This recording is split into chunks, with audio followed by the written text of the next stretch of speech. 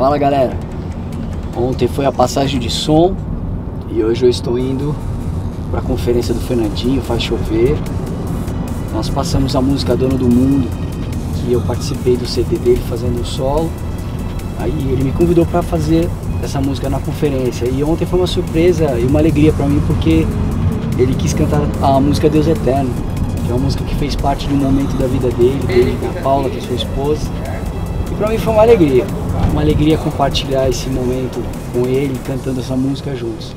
Então daqui a pouquinho vai, vocês vão poder ouvir um pouquinho do que rolou lá no evento.